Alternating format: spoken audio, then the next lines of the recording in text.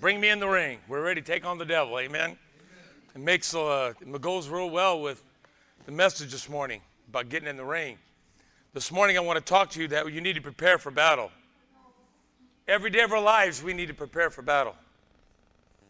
Because I guarantee you, the moment you start pressing out and being with Jesus and start doing what's right, the enemy will try to come in and trip you up. And it doesn't take long. It could be in the same day that you had a blessing from God, you walk out the door and boom, hit you right in the face. That's why you got to be ready in season and out of season. Hallelujah. It says, For your the enemy, the devil, goes around as a roaring lion. He's toothless, by the way. Jesus kicked his teeth out when he rose again. Come on. We have a commander in chief who's not going to wheel back and make deals with an enemy across the lake and say, We'll bow down with you and we'll make a covenant with you. But unfortunately, there's a lot of Christians today that are doing that very thing with the enemy. If you'll just let me have just a little bit of church, a little bit of God, I can still do what I want to do, and I'll make a covenant with you. When you make a covenant with the enemy, he wants to do nothing but to kill you. We have an enemy that we made a covenant with our country who wants to see Israel dead and the infidel United States dead. We can't tolerate this no more. We defend the Constitution of the United States of America, but most of all, as a citizen of the Lord Jesus Christ, I defend the Word of God. Hallelujah. This is my citizenship. This is what I stand upon. I don't lean upon any other rock but the rock, Jesus Christ. Hallelujah. Praise the Lord. Was prayer walking yesterday morning. And uh, it was me, myself, and I, and the Lord. So it were six of us there. Yeah, me, myself, and I, and the Father, Son, the Holy Ghost. I put on YouTube and I put on continuous praise and worship, and I just started hoofing it. And I started praying, started seeking God. I went around the bend and started heading down the street, heading toward my house. And there was another gentleman coming out of his house getting ready to go walking. He's looking at his, putting a timer on his watch, getting to see how long it was going to take him. I said, Beautiful day for a walk. He says, You better get your walk in before the rain comes. And I stopped dead in my tracks. I said, You're 100% right. And thank you for speaking to me today. He's just like, Okay, that's awesome. He didn't realize what the Holy Spirit just spoke to me that we need to prepare for rain. Joel 2:28 says in the last days, I will, he said, I will pour out my spirit on all flesh. But will all flesh receive it? Most flesh is like that hardened ground after drought has happened and they've not done anything to prepare it. And when the rains come, what does it do? It just runs off. You're responsible for your heart. You alone and alone. You need to find yourself in an altar every day saying, Lord, search me, see if there's anything in my life that would keep me from your presence. There's a rain, yes, that's coming, and it's coming soon. He said, I will pour out my spirit, but the love of many have grown cold, and will they receive it? Those who are on the fence will be knocked off the fence right into the place of damnation and fire and they will become wax even more evil than anything at all. You know why? Because they'll have a form of religion, deny its power, and they will come and execute and destroy the saints of the living God. They'll be the ones doing the execution. They'll be the ones pursuing you and I who live for the Lord Jesus Christ, not sinners. Sinners are going to flood to the altars and want to know who Jesus Christ is. But those who've been lukewarm, he said, I'm going to spew them out of my mouth. Amen. Listen to the word of the Lord in Ephesians 6 10 through 18. He says, Finally, brothers, be strong in who? The Lord. And in the power of his might. Put on the whole armor of God that you may be able to stand against the wiles of the devil. For we wrestle not against flesh and blood, but against the principalities, against powers, against the rulers of darkness of this world, against spiritual wickedness in high places. Therefore, take unto you the whole armor of God, that you may be able to withstand the evil day. There's a day that's evil that is coming upon us, and we're living in that day. And having done all to stand, do to stand, stand therefore. Don't cave in to what the government might say. You got to accept this. You got to do this. No, you do not. You have to heed the word of the living God. When you've done all to do but stand, stand therefore says, I will not.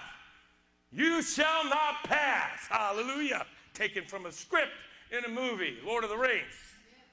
I love that part. That enemy tries to pass it. You shall not pass. And we have the authority in Jesus Christ to demand and command the enemy to flee from our lives, flee from your home, and flee from your families. You're tired of struggling in your marriages? Then stand up for your marriage and say, No, Satan, this is my wife, this is my husband. I shall not pass. You shall not pass and come through us. No more. Verse 14 Stand therefore, having your loins guarded about with truth. You're going to have to learn to walk in truth. What is truth? Jesus asked. Pilate looked right at truth. His name is Jesus. He is the truth. No other truth can ever be found than found in Jesus Christ. Loins girded with truth and having the breastplate of righteousness, right standing with God. Who is that breastplate? It's nothing other than Jesus Christ and the sprinkled blood of Jesus. When Satan looks at you, he sees nothing but the right standing of you with God. But do you have the blood on? It says every day, take up the whole armor of God. You know, as saints, you can lay your armor down. Listen. And your feet shod with the preparation of the gospel of peace. You know how you fight hatred and bitterness and warfares of the soul? With peace. When someone comes at you with that voice, that anger, and ah, he says, return quietly your voice. And it says it will cause it to be put asunder, it will deflect off. They may walk away ranting and raving still, but you're going to keep your peace. Don't surrender your peace for some idle argument. Jesus, help us, God. Above all, take up the shield of faith wherewith you should be able to quench the fiery darts of that wicked one. You have your shield of faith up. It's the Word of God. Faith comes by hearing and hearing the Word of God. If you're not in the Word of God, your shield is uh, like a piece of Swiss cheese.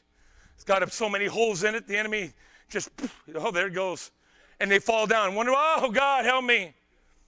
Put on the whole armor of God, put up your shield of faith the Word of God, and take the helmet of salvation and the sword of the Spirit. This word is sharper than any two edged sword. It'll cut asunder even to the marrow of the bone. say, man, I just can't get through to that man or that woman or that, or that son or daughter of mine. But listen, pray the word of God, pray in the Holy Ghost, and he will go into places and can say, ow, what was that? Hey, what was that? They're going to get uncomfortable. They may even get crabbier.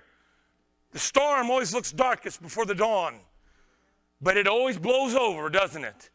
Hallelujah. Verse 18 praying always. How many times? Every day of our lives. With all prayers, supplication in the Spirit, and watching thereunto with all perseverance and supplication for all saints. We're going to pray. Heavenly Father, we thank you for your word. Your word will not return void. I thank you, God, that, Lord, right now, we stand in the liberty of being able to preach this word without chains, without guns being pointed at us. But there will come a day when that will happen, when our liberties will be stripped because they've been given away by men in high places. But you know what, Lord? My, the Word of God says that I am free, and whom the Son sets free is free indeed. Like Paul, though I may be in shackles and chains, I will praise the Lord, and the chains will fall off. I give you praise and glory this morning, God. that chains this morning are going to fall off, and that you're going to see the liberty and the victory through the blood of the Lamb. In Jesus' name we pray. And everyone said, Amen and amen. We can no longer sit back and wait for the battle to come to us. We must take the battle to the enemy to the very gates of hell. Jesus looked at disciples and looked at this cave. He said, looked at this entrance, what they called the, the, the gateway to Hades. He said, even to the very gates of hell, my throne and my kingdom will stand. Hallelujah.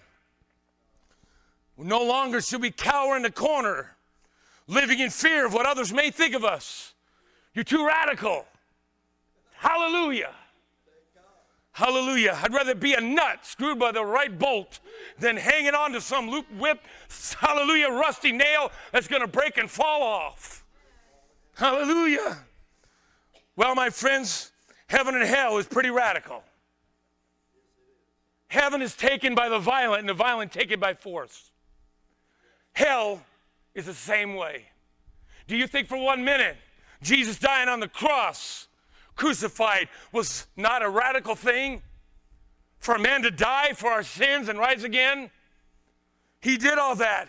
Now I follow in the same footsteps. I count everything as loss for the glory of the cross. I am crucified with Christ. Nevertheless, I live, yet but not I. It's not I that lives in this body, but it's Christ, the Son of the living God. And to him I will give the glory. To him I will give the praise. Hallelujah. You want to stop falling short? Stop living like you. Deny yourself, take up the cross, follow him. You're carrying the cross, you can't fail. When you're carrying the cross, you will not lose. You're going to be either bound to the cross or bound to the world. Your choice.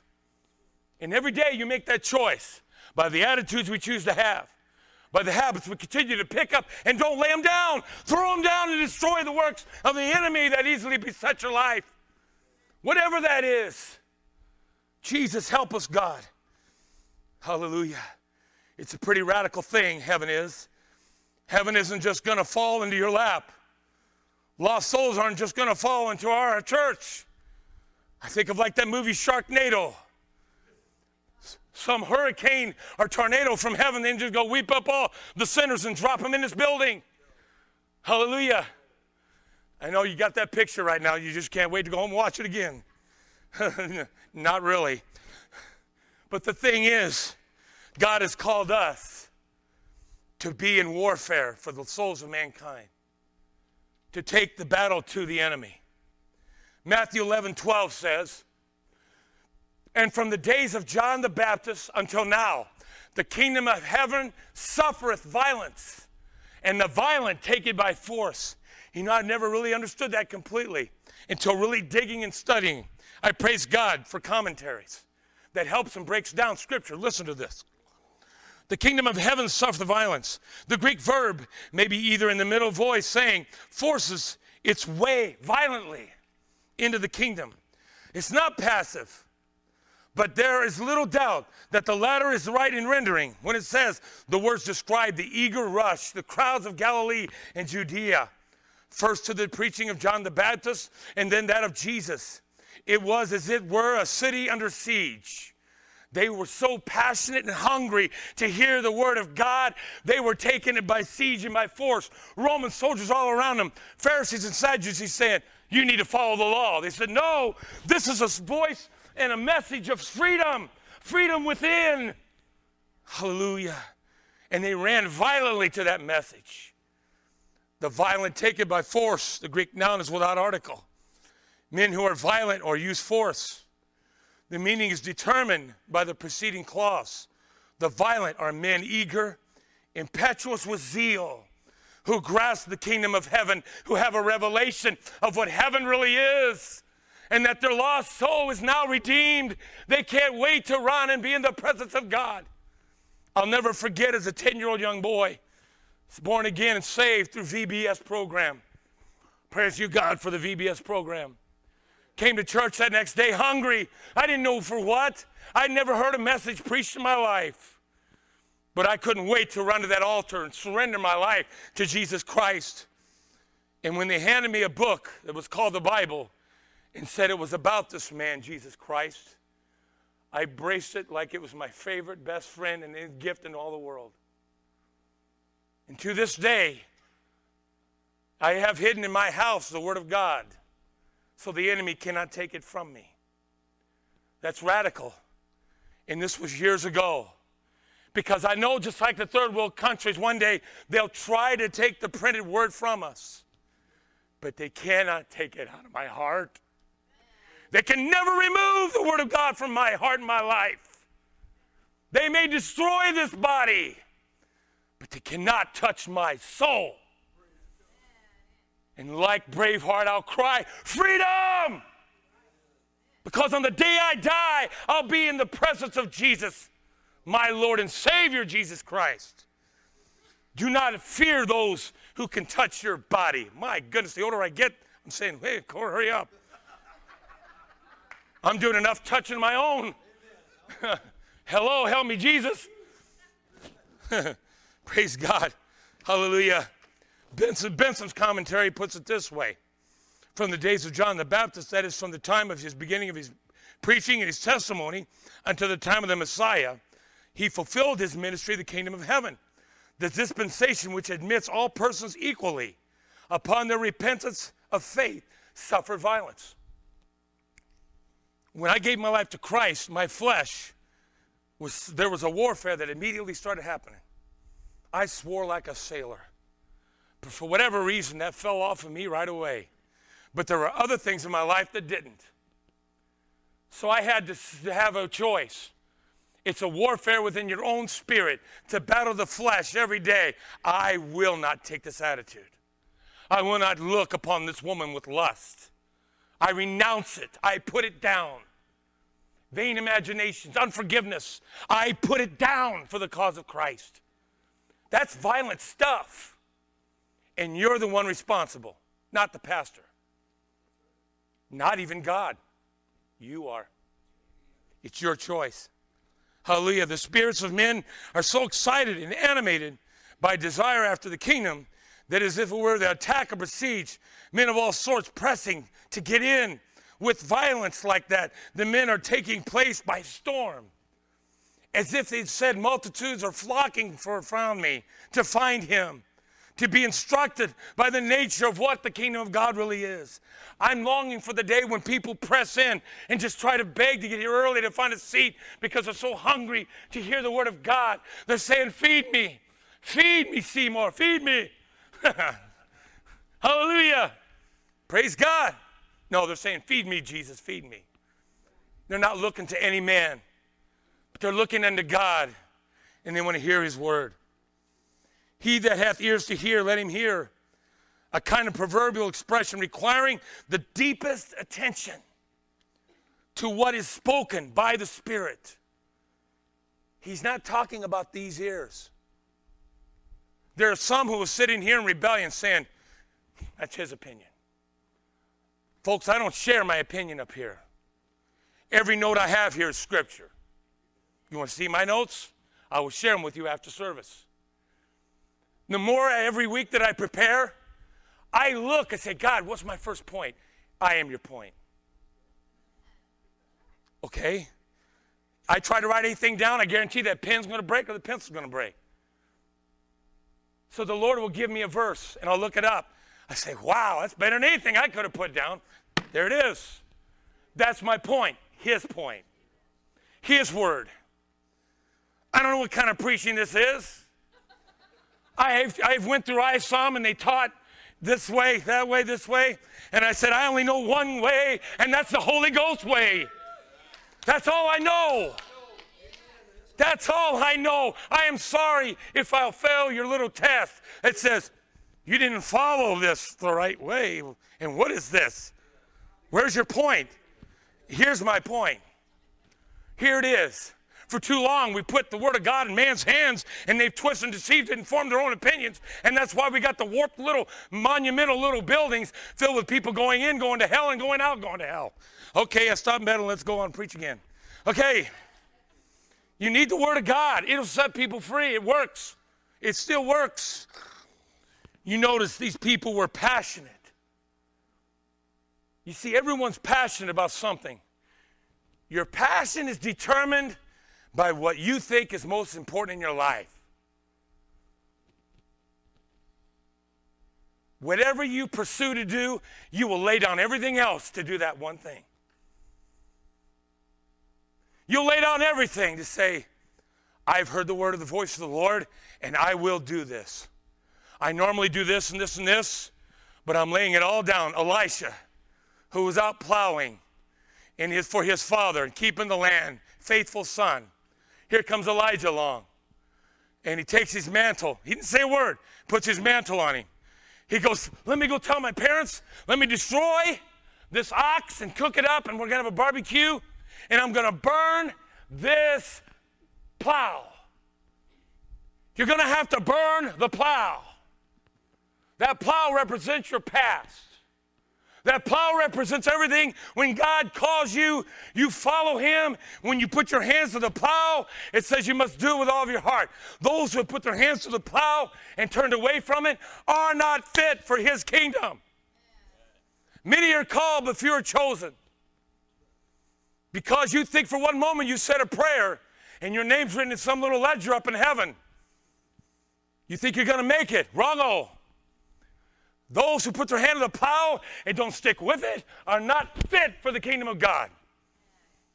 The few, the proud, the Marines. I long to serve in God's in armies and service for our, our nation. I longed for it. It didn't happen. So what the Lord did, He called me to service an army of the Lord. Oh yeah. There's no retirement. The benefits are great. And you know what? My commander in chief will come soon, and all the kings and presidents of this world are going to bow down and call him Lord and Holy.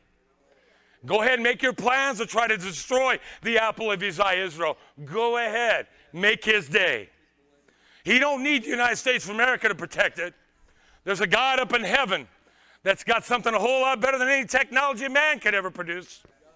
And he's coming back again to reclaim his apple of his eye. And he's coming back again to reclaim you and I. But is your hand to the plow? Are you taking heaven by storm? Or do you even struggle to get out of bed to make it to a Sunday morning service? I'm not looking at anybody. I'm not looking at anybody. You know where your heart is at. Physically, this morning, I wanted to crawl back in bed and go to sleep. But the Word of God says, just like Paul, I buffet my body and keep it under submission, that I will do what God has told me to do. There's a song in the lyrics by a man that I followed very heavily and mentored my life through music. His name is Steve Camp. And the name of the song is called Taking Heaven by Storm. He was mentored by a man named Keith Green. Listen to these words. I'm here to say Jesus Christ is Lord of all. He's the solid rock on which I stand. Though kingdoms of this earth will rise and fall, we're headed for the promised land. There's no turning back, no matter what the sacrifice. Are you hearing this? No matter what the sacrifice, we're pressing on each day to glory, marching side by side. This is our battle cry. We are taking heaven by storm. We're sold out to Jesus, our Lord, not giving in to compromise. We keep reaching for the prize, pressing into the kingdom by force. We're taking heaven by storm. Jesus said, The meek will inherit the earth. Heaven is taken by the poor. See how much eternal life is truly worth. You got to lose it all to save your soul. The only way you can see your soul saved, he says, but denying yourself 100%. You've got to say, Lord, I will follow you the rest of the days of my life. And it's got to be a prayer you do every day of your life. As far as for me and my house, we will serve the Lord. There's no turning back, no matter what the sacrifice. So keep pressing on each day to glory, marching side by side, taking heaven by storm. It's heaven, do or die. Raise the gospel banner high. There's no turning back, no matter what the sacrifice. We're pressing on each day to glory, marching side by side. This is our battle cry. we're taking heaven by storm. Do you really want to see the lost saved? I want to challenge you. Your commitment is not only where your mouth is, but where your feet will go. Listen to me. Some of you won't like this. That's okay. If you're in the army in the battle of the Lord Jesus Christ, then you'll say, Yes, sir, Commander in Chief, which is Jesus Christ. I'm sending the message from Him. In that prayer walk, the Lord told me something. It's much bigger than your little walk around the high school and grade school. It's much bigger than just Staunton, Illinois. You have people in your congregation that represent their communities. Everyone here in the sound of my voice, you represent your community. I want you to start walking and praying over your territory. Not going to their doors, not going up to them and saying, Hey, I'm here to prayer walk for you. The enemy is watching and listening. Pray in the Holy Ghost. If you don't have the Holy Ghost, you need Him. You're walking with an unfilled backpack, and you need a full backpack to fight the enemy. I'm here. You know what church is about? What I'm doing right now. I'm preparing you for battle. Because whether you like it or not, you walk out these doors, it's hitting you right in the face. The same temptations that caused you to fall. And if you think for a minute, I just wanted to come in church and hear a good sermon and listen to preaching and to hear some music and enjoy myself and get the fuzzies and go home. Are you kidding me? Unfortunately, that's what's happening to our Marines right now who have to guard their posts without a gun and get shot and killed by the enemy. That sickens me. But unfortunately, that's what ministers are teaching their people. Oh, just come as you are. Here's a nice little program so we can get all the people that are relevant and get them fill this house, and we'll send you back out so you can be slaughtered by the enemy. No weapons. The weapons of our warfare are not carnal, but they're mighty through God to tear down the strongholds. Hallelujah. Go ahead, praise the Lord. But I want to challenge you. If you live in Gillespie, raise your hand. Hallelujah. Hallelujah. I Marlene can't walk, but she can pray. How many in Litchfield? Raise your hand. Hallelujah. Thank you. Mount Olive. Benld. Hallelujah. Staunton, Sawyerville. Staunton, Worden. Oh, that city really needs prayer. I came from Worden. Can any good thing come from Worden? That's like Nazareth. Hallelujah. Bless them, Jesus. We need to, we need to pray and claim your neighborhoods. Maybe you can't walk very far, but you can stand out in front of your neighborhoods and walk back and forth and start praying in the Holy Ghost. You know what the first thing is going to happen? God's going to actually give you a heart for him. We've been behind our closed doors in our houses. We, we, get, we get in our widow cars. We drive to our widow churches and then we drive back to our widow houses. We go to our widow jobs and we do it all over again. And God's saying, There's all kinds of fish right here. Why are we not fishing? Why are we not planting and sowing and reaping? This is time to plow. Prayer is plowing things you cannot see. Put on your worship music, put on your little headphones I had mine in my pocket playing out loud. And when I went some, uh, some of the neighborhoods, it was so quiet, it started echoing. I said, Yeah. I like that. Let it echo, let it ring. Hallelujah. That's what I want to challenge you to do. Get beyond yourself and get into the battle. I never was a sideline kind of guy. Playing basketball or baseball, I hated it. I didn't do all that running and everything just to sit on the sideline. But if you're not going to do your best, that's where you're going to be. Shake off your sword, sharpen it, and prepare it and get the rust off. Prepare for battle. Philippians chapter 3, and this is in closing, which means nothing. Okay. Remember, I don't have any points, which means I don't have a period at the end of my message either. Hallelujah. But the God does. Amen. Aren't you glad He does? Hallelujah. Hallelujah. Finally, my brethren, rejoice in the Lord. write the same things to you, to me indeed is not grievous, but for you it is safe. Beware of dogs, beware of evil workers, beware of them who their conscience. For we are the circumcision which worship God in the Spirit and rejoice in Christ Jesus and have no confidence in the flesh. There's a lot of churches who have put their confidence in the flesh, and that's how they're growing the church. Compromising the truth in God's word. And you'd be surprised, they call them mega churches. Full of thousands of people who have the hippest music, the finest bands and groups, will hire out people from Walt Disney World to do programs for their children church. Wow. There you go, right? That'll bless them spiritually, won't it? Because their conscience is led by their flesh. If I can just look good, pad the numbers. Look what I did for you, God. Depart from me, I never knew you. And by the way, all these behind you that are waiting in line to hear the same thing is your fault. Listen. Though I might also, verse 4, have confidence in the flesh, if any other man thinketh that he hath whereof he might trust in the flesh, I more. Paul said this I was circumcised on the eighth day of the stock of Israel, the tribe of Benjamin, a Hebrew of Hebrews, as touching the law, a Pharisee.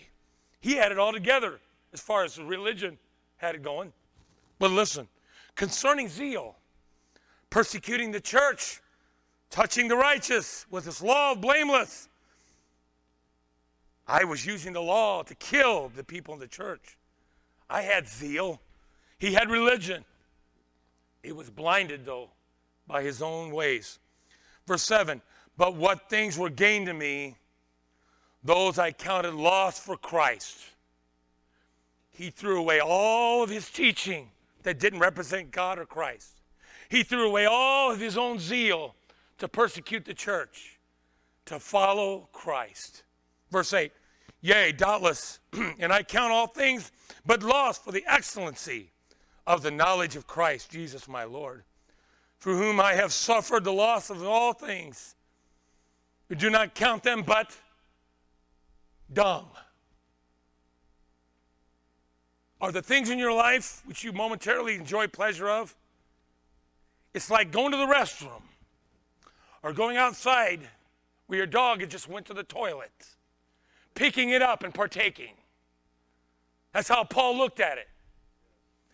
When the thing that you think is so precious to your flesh becomes like dung, you know that your heart has been blessed and you're hungry for the things of God and His holiness. But if the things of the world and the passions and lusts thereof still look good to you, you need to get back in the altar and say, God, help me. Help me, Lord. I don't know when that day will happen for you. I know what day that was when it happened for me.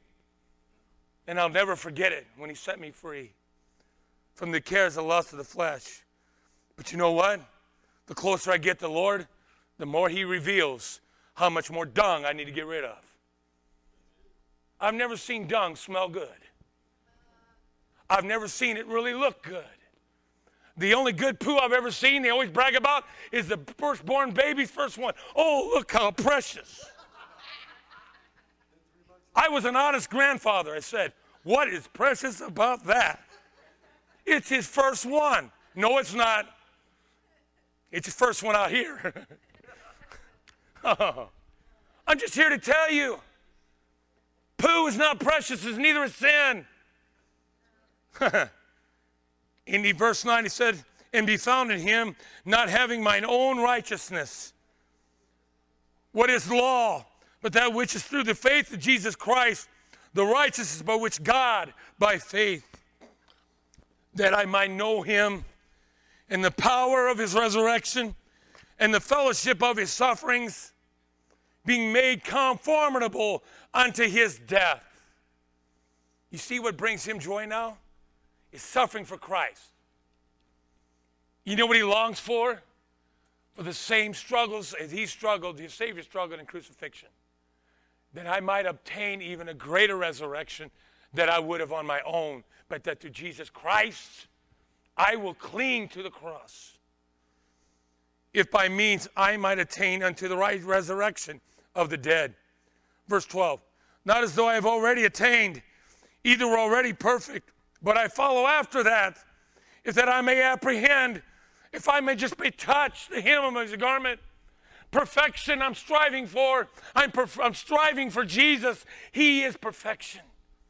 I've nowhere near attained. But I'm a whole lot better off than I was a year ago or six months ago. Can you look at your life and say, God, I am better off today than I was yesterday? That if I may apprehend that which also I am apprehended by Jesus Christ, you see, the more I try, if I take one step toward Him, He takes two toward me. That's the grace and mercy of our Lord. I don't care where you slept or laid your head. I don't care how far you've fallen into sin. If you'll cry out to Jesus, He will forgive you and embrace you as a son or daughter once again. But stop sinning. Stop doing the thing that destroys your spirit. Turn your back on it. Verse 13, brethren, I count on myself not to have apprehended, but this one thing I do forgetting those things which are behind me. And now I'm reaching forth unto those things which are before me. And let me make this perfectly clear. What's before me is not a vision of where to take this church and try to raise it to thousands of people. You know what's before me? I see the arms of Jesus Christ. He is in heaven waiting for me to make heaven and say, Well done, thou good and faithful servant. That's what I'm reaching for. The cares of this world, the pressures of how we should run a church is nothing, nothing compared to the salvation I have through Jesus Christ, the rock upon which I stand. You see, you can't look back if your focus is on what's in front of you. Believe it or not, I used to be in cross country. Yeah, that's called running. and used to be able to run very well. The coach always told me, don't worry what's behind you. Press on what's in front of you and run your best race and just see where you end up. And that's all that Lord's requiring you to do. He doesn't want you to look at me, my brother, or anybody else. But most of all, He doesn't want you to look at your past unless it's to glorify God for what He brought you out of. Hallelujah. Forgetting those things which are behind, I am reaching forth to those things which are before. I press toward the mark, the prize of the high calling of God of Christ Jesus. And this calling is not ministry. The high calling is come home, Jack. I love you. There's no higher calling than that. He loves you. Cecil Brockman, come home. That's the high calling. He's redeemed you by the blood of his son. But we weigh everything but what we can and can't do, and he just we frustrate ourselves because we can't do it. Give it up and give yourself to Christ. Set yourself free. I stand here delivered and free as a minister because I'm not ministering my own strength. I walk away from here and I say, What in the world did I just say? It wasn't me, it's the Holy Spirit person living in me. It's not for me to boast about anything that happens in my life. Verse 16, nevertheless, whereunto we have already attained, let us walk. Whatever you've already attained, Stay in that and walk in that. The Word of God says in the armor of God, when you've done all to stand, stand therefore. Sometimes all you can do, sometimes all you can do. It should be everything about our lives. We look back and say, Thank you, Lord. I'm redeemed by the blood of the Lamb. And then he says, My precious son and daughter, I love them. He doesn't look at your failures or what man may say. Hey, what are you running in your church? You're still at 70 or 80? Well, what are you doing?